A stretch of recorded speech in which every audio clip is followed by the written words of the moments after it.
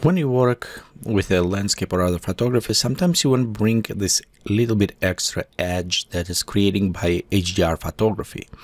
And high dynamic range, what does it create if you do multiple photos, uh, it's create a multiple image with different exposures and allowed us to capture details in highlights and in the shadows and bring all after by blending those images together.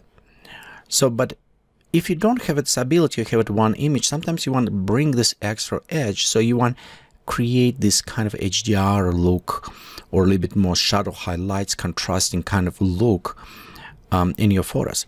So example, the landscape right here, what we have it, and you can see it's kind of nice image. I took it in a fall and I create also filter that is simulating some HDR look. So let's look right here, we can preload and you can see how it, it's intensified, bring kind of more details to this.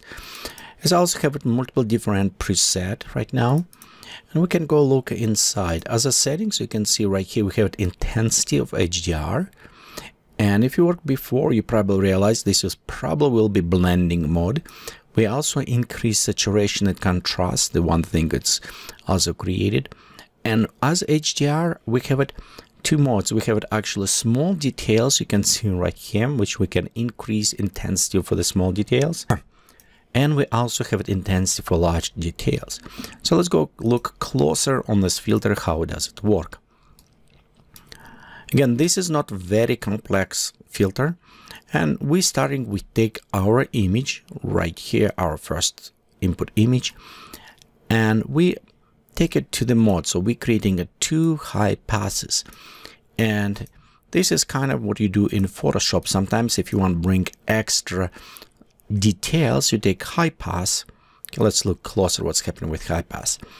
And high pass working on a contrast of the edges, detecting the uh, it's detecting the edge between contrast like darker light and intensify those. So it's bring a little bit more. So based on this, I have a two filters, high passes.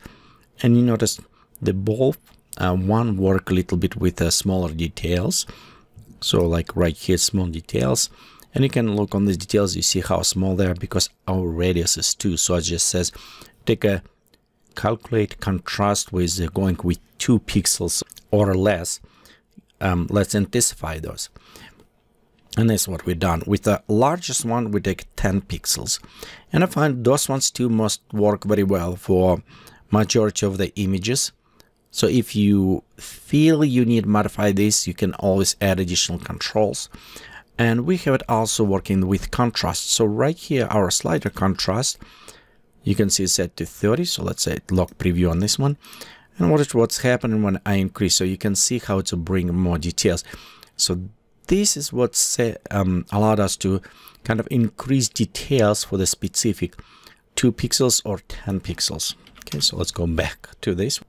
Okay, we'll go to remove lock. So this is two overlays.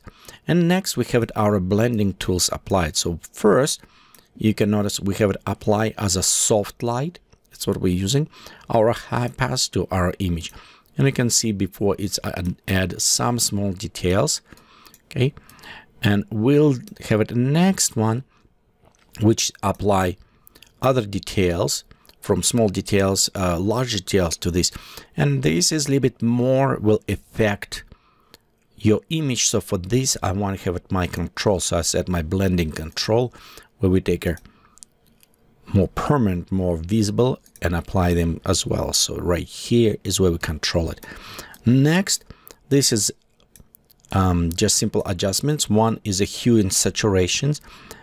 And it's simple. We just take our saturations and we apply our saturations to the image to increase quality. And it's what's happening if you work with a real HDR. Sometimes you notice because how image blending, the bring details and saturations will increase. So it's again done to simulation.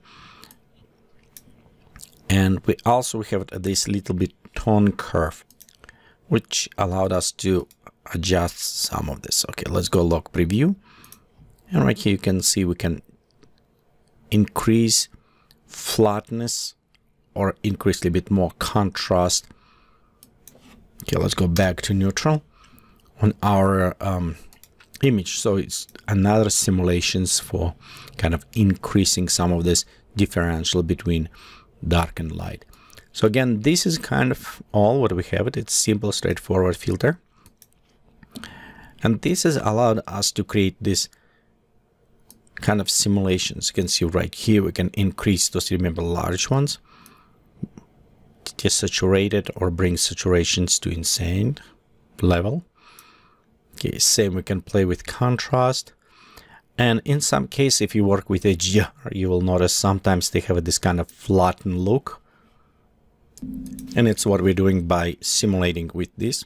Again, we can take the saturation down and we can create this kind of flat HDR look. Or we can increase again contrast way high and bring kind of very intense HDR look on this case. Again, bring contrast maybe lower on a small details higher. Right there. There you go. And you can see we can create all this different type of HDR look with these filters. And you can see like before and after. Um, right here you can kind of see how we brought some of the trees pop up on the back kind of add all of this distinguish between um, before and after processing and always when you create your preset if you like this remember just go ahead and add presets so you will have it all these additional presets. You can maybe use in the future as you like